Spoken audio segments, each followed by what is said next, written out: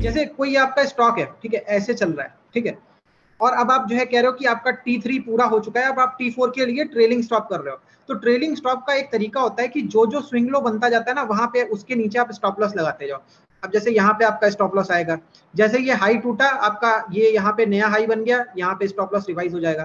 फिर मान लीजिए कि अभी यहाँ पे स्टॉप लॉस है, ये जब ये ऊपर बढ़ना चालू होगा ना, और जैसे ये हाई टूटेगा, ये जैसे ये हाई टूटा, ये स्टॉप लॉस यहाँ से हट करके यहाँ आ जाएगा, ठीक है? ये पहले वाला हट चुका है।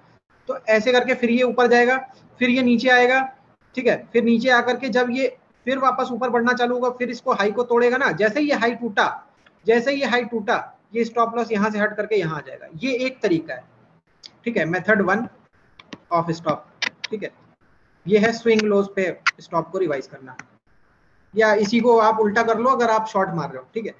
दूसरा तरीका बात करते हैं। मान लीजिए कि आपके टारगेट छोटे हैं, आपका ड्यूरेशन भी छोटा है ट्रेड करने का, ठीक है? मान लो कि कोई दूसरी साइकिल है जो छह सात दिन की होने वाली है, वहाँ पे तो आप ये स्विंग लो वाला सिस्टम नहीं अपना पाओगे। वहाँ पे आप पिछले दिन का लास्ट कैंडल का लो जो है, मैं देखो, सारे एग्जांपल बुलिश वाले केस के बता रहा हूँ, ठीक है? सो so दैट आपको, आप बुलिश से ही रिलेट करना है इसको, ठीक है? और बियरिश के केस में आपका लास्ट कैंडल का हाई हो जाएगा, ठीक है? अब एक और केस बताता हूँ। पैराबोलिक सार एक बहुत अच्छा तरीका है, मगर उसको आपको रिवाइज करना पड़ता है, ठीक है? पैराबोलिक सार बहुत अच्छा तरीका है स्टॉप रिवाइज करने का बट उसको आपको रिवाइज करना पड़ता है। उसकी सेटिंग्स को रिवाइज करना पड़ता है। वो चीज़ मैं यहाँ नहीं कवर कर सकता बट अगर आप देखोगे जाके, थोड़ी उसकी सेटिंग से आपको खेलना पड़ेगा। हर एक स्टॉक के लिए अलग रिवाइज करना पड़ता है उसको। ठीक है? पहले मैं जैसे जब स्टार्टिंग में नया नया आया था, पहले तो पैराबोलिक सारी नहीं पड़ता था और फिर किसी से पता चला तो अच्छा लगता था मतलब वो नॉर्मल जो उसकी जेनरिक सेटिंग्स थी, उसमें भी वो काफ़ी टाइम तक राइट राइट करवा लेता था। मगर फिर मैंने नोटिस किया कि अलग अलग स्टॉक में अलग अलग तरीके से ये काम करता है। तब मैंने रिवाइज किया हर एक स्टॉक के हिसाब से। मगर फिर उसके बाद में और नए तरीके पता चले स्टॉप लॉस के तो फिर वो फॉलो होना उतना बंद हो गया। ठीक है? तो ये दो तीन तरीके हैं, ठीक है? इसके अलावा भी बहुत सारे तरीके हैं, वो भी बताता हूँ। मान लीजिए कि आप इन्वेस्टमेंट या कह लो ट्रेडिंग के पॉइंट ऑफ़ व्यू से चार पाँच स्टॉक आपने जीसीडी के बेसिस पे या किसी मेथड के बेसिस पे ले लिए, ठीक है?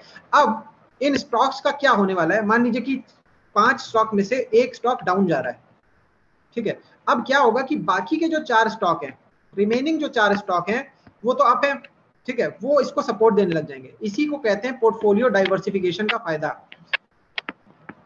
आपने सुना होगा ये कहावत की सारे अंडे एक ही बास्केट में नहीं रखने चाहिए। वही बात है कि आपने क्योंकि अपने स्टॉक्स को डिवाइड कर दिया डाइवर्सिफाई कर दिया।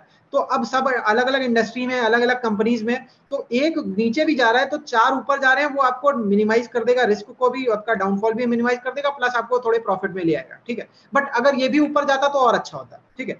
एक तीसरा केस समझिए, एक अलग ही केस है, जहाँ पे कि कोरोना वायरस वाला केस है, एकदम स्विफ्ट डाउनफॉल आया, ठीक है? अब वहाँ पे तो ये पाँचों स्टॉक्स ऊपर डाउन जाने वाले हैं। ठीक है, वहाँ पे आप क्या कर सकते हो, निफ्टी की पुट्स खरीद सकते हो दूर की। तीन महीना दूर, ठीक है, और जहाँ पे आप हो मतलब जहाँ पे मार्केट है, मान लो दस हज़ार पे है तो नौ हज़ार की खरीद ली। ठीक है, और ये डिपेंड करता है आपके पोर्टफोलियो के साइज़ पे भी, ठीक है तो अब वो अब अलग चीज़ें, अलग बिल्कुल डायरेक्शन है, क्योंकि वो कवर नहीं हो पाएगा, क्योंकि किसी की कैपिटल कितनी, किसी की कैपिटल कितनी, वो आपको अपने हिसाब से देखना पड़ता है, ठीक है।